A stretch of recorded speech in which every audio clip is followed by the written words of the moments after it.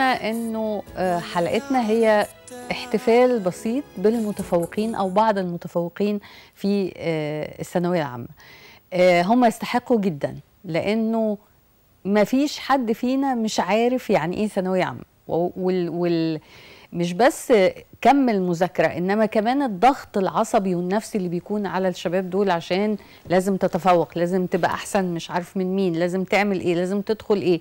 فبيبقى ضغط نفسي رهيب عليهم و و والحقيقة الضغط ده يعني بيتجاهلوا وبيتجاهلوا ال- الحاجات اللي سلبية اللي ممكن تحصل مننا كأهالي وبيعدوا وبيتحدوا وإرادتهم هي اللي بتنتصر في الآخر بيتفوقوا فعلا.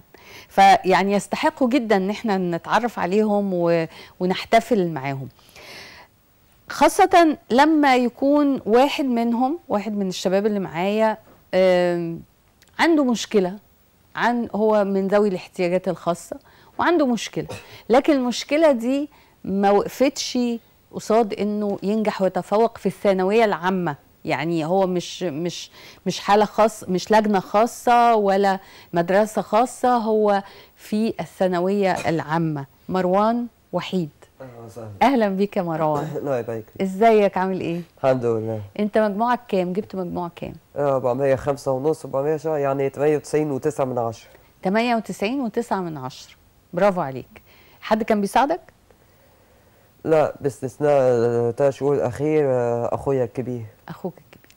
معانا في ال- في الاستوديو كمان والدة مروان سيدة أمل طاهر. أهلا بيك يا فندم. أهلا أهلا وسهلا. الحمد لله. ومبروك لمروان الله يبارك في حضرتك. الحمد لله. كمان من الشباب اللي موجودين معانا آه، محمود أحمد. أهلا بيك يا محمود. آه، معاك أنت عملت آه، أو مجموعك كام؟ يعني 399 ونص. يعني كام؟ 97 و 14 97 و4 من عشرة. أنت علمي رياضة آه صح؟ أهلا وسهلا.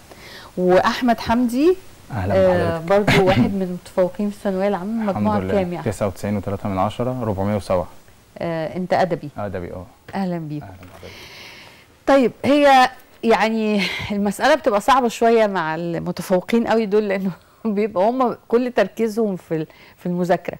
مروان؟ انت عندك برد صح؟ أنا عرفت قبل ما ندخل ان انت واخد برد. ألف سلامة عليك.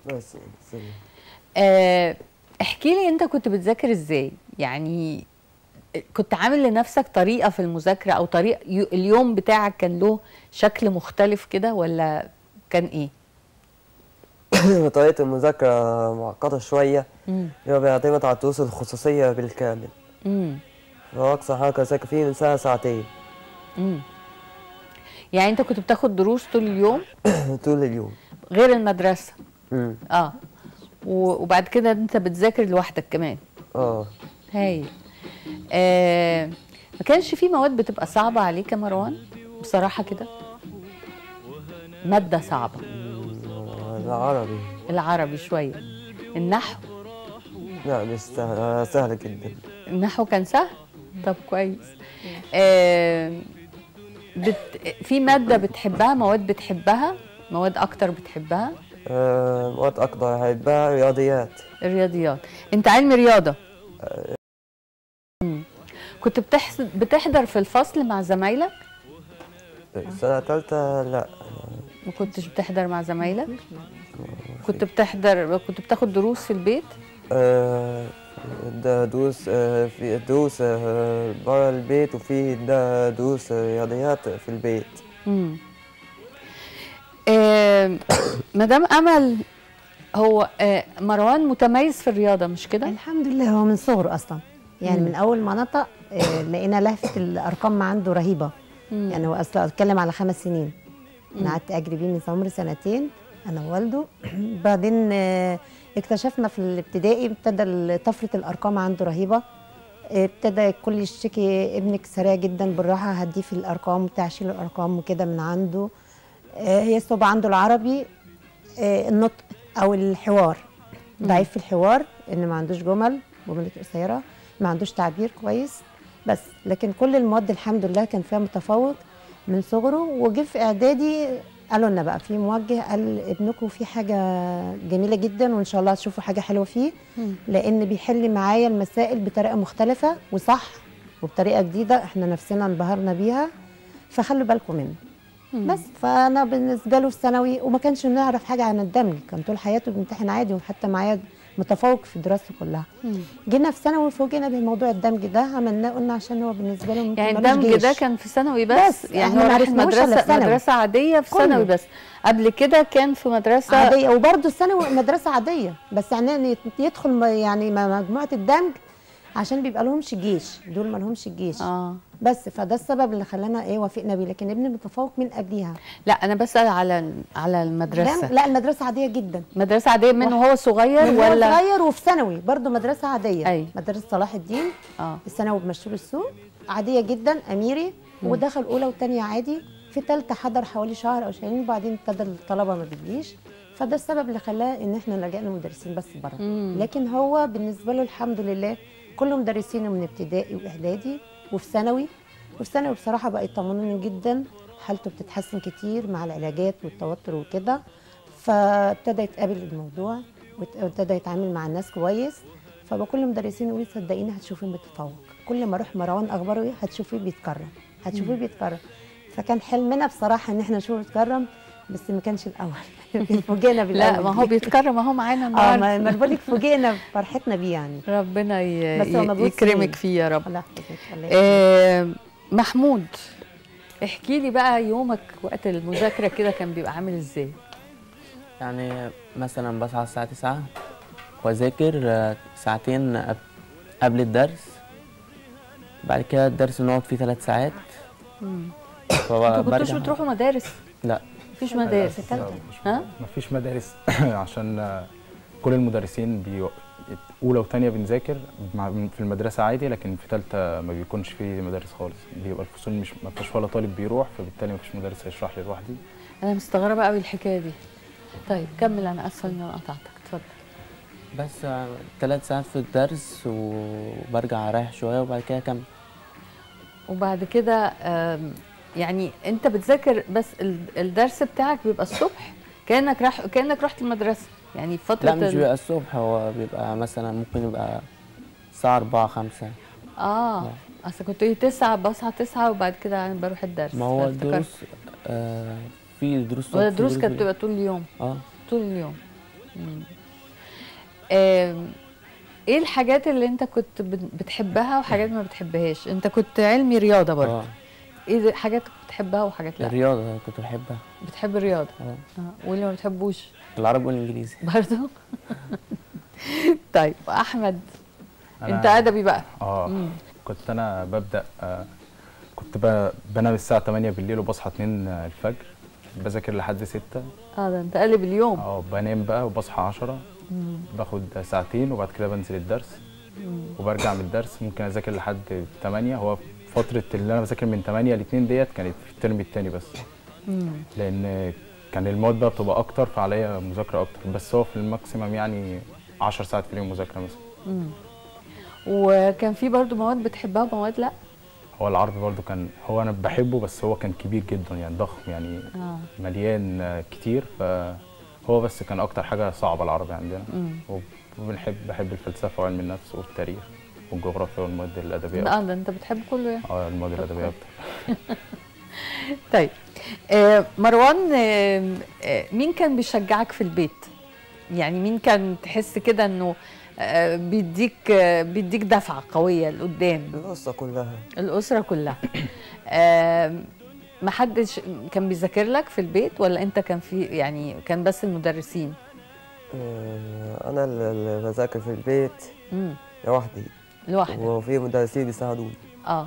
لكن مفيش أنت قلت لي كان أخوك ساعات بيساعدك مش كده؟ آه في آخر ثلاث شهور. في آخر ثلاث شهور. آه هو شاطر زيك في الرياضيات؟ ولا لا؟ أنا مش عارف ما عنديش فكرة في المواضيع آه. وكل اللي أنا عارفه خريج في التجارة. هو خريج تجارة. آه ده هو يعني متخرج. آه. آه طيب كويس. طب أنت نفسك تعمل إيه بقى؟ إحنا دلوقتي خلصنا الثانوية العامة. انت عايز تعمل إيه قدام؟ لسه ما قررتش. مش عارفه تدخل إيه جامعة أو يعني آه، تدخل إيه كلية. إيه؟ هندسة بترول. الله حلو قوي. انت بتحب ال- المجال ده؟ ما, ما أعتقدش يعني بس هشوف. لسه مش, مش متأكد يعني. مم. مش متأكد. طيب حد في البيت بيقول لك عايزك تبقى مهندس عايزك تبقى دكتور عايزك تبقى يعني حد. ما أعرفش آه نفسي مهندس. نفسك تبقى مهندس. طيب مدام أمل إيه الأوقات الصعبة اللي كانت بتبقى مع مروان؟ أكيد في أوقات كانت بتبقى صعبة. كان لما يحس بإحباط إنه امتحن امتحان شهري أو حاجة أو اختبار في الدرس وأحس إنه نزل درجة أو نص بيجي زعلان جدا. وأنا أنا كده فاشل أنا كده مش نافع. ليه يا حبيبي كده يقول لي لا أنا سقطت كذا؟ ما سقطتش ده نص درجة يا مروان. لأن هو حياته الرياضة يعني حياته الدراسة.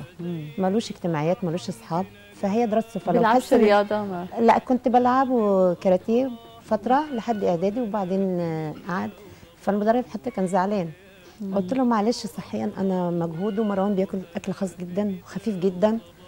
فالرياضه عايزة مجهود ود- ودراسة وكده وغذاء فقلت له معلش كفاية لحد كده وننتبه لدراسته. أنا الحمد لله خلينا له في ثانوية عامة سنة عادية جدا وطبيعية جدا لأنه هو من النوع اللي طاقته حلوة في المذاكرة.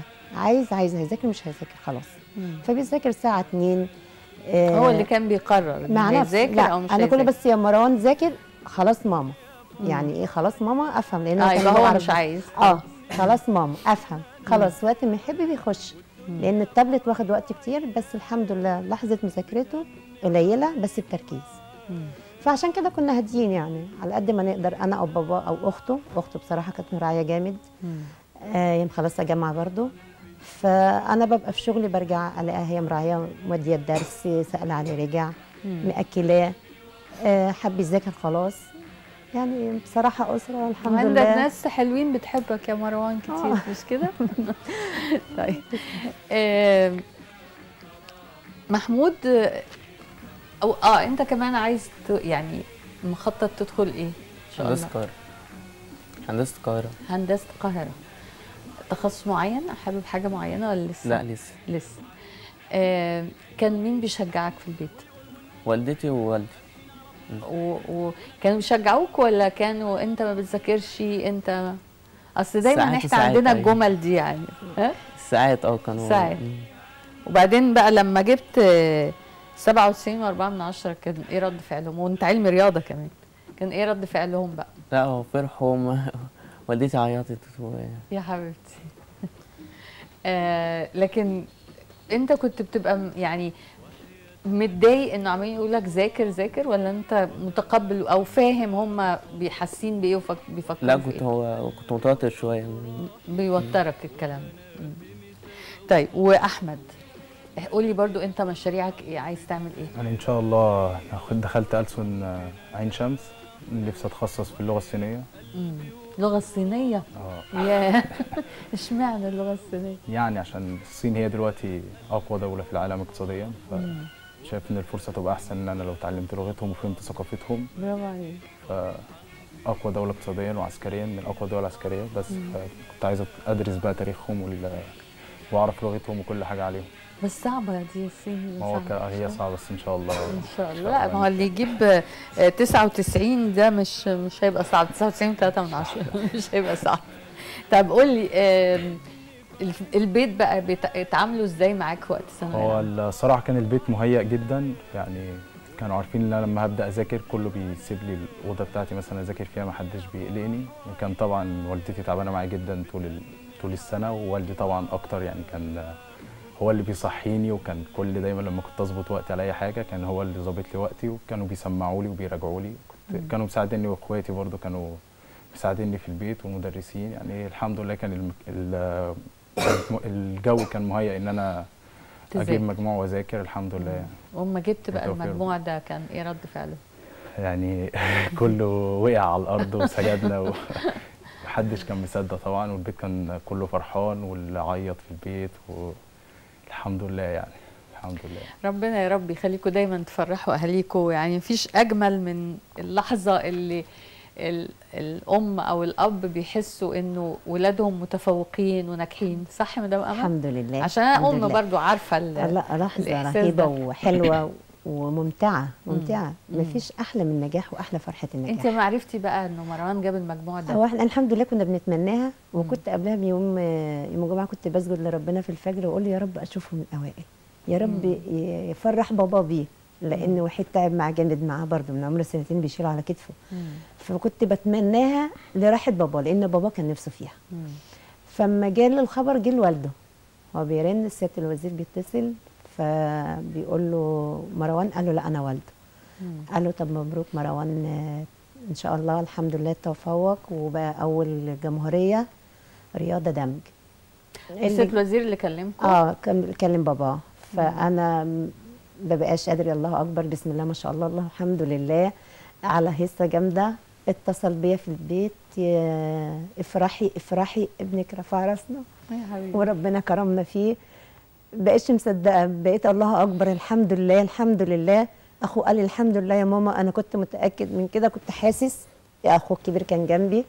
آه، أخته بقت في حاله ذهول بتقول لي الحمد لله. جينا بعدها بشوية هديت بقول له يا جماعة اهدوا لا يكون افتكاسه حد عامل في حاجة فصل غلط. كده. فرجعت اتصلت تاني بابا قال لي بقول لك جايب 405 ونص. آه. قال لي رقم جلوسه ومبل... يعني مجموعه عايزة إيه تاني. قلت له اللهم صل على النبي سجدت ودعيت ربنا. شفت يا مروان بقى فرحوا بيك إزاي؟ ما, آه، ما عرفتش موضوع لأن ما كنتش في البيت ساعتها. ما كنتش. جده آه أديك عرفت أهو. شفت حصل فيهم إيه بقى بسببك؟ ما بقاش مصدق. أخوه أصلا. أخوه آه. راح قال له كان هو عند جده مع ولاد خاله. مروان أنت عملتها وبيت الأول. قال له مش مصدقك. اتصل بالمستر بتاعه. آه، أخويا بيقول لي كذا. قال له مبروك يا مروان أنت الأول صح. ما صدقش المستر برافو عليك يا مروان بجد برافو عليك. الحمد لله. عايزة أسألك بقى أنت إيه إيه يعني إيه الحاجات اللي أنت بتحبها؟ يعني أنت نفسك تعمل غير إنك تدخل تبقى هندسة بترول؟ لا إيه الحاجات اللي نفسك تحققها حياتك كده؟ أشكر سؤال رياضة. صعب ده. لا صعب، أشكر ما رياضة. حددتش بس مش محدد. رياضة أحسن أفضل. أنت أنت عندك موهبة في الرياضة. يعني ربنا مديك موهبة في الرياضة صح؟ مخك بيشتغل بسرعة في ال في ال آه. في الحسابات وفي كده صح؟ صح. مم. طيب أنا هكمل كلامي معاكم واسمحوا لنا هنخرج فاصل صغير ونرجع نكمل كلام.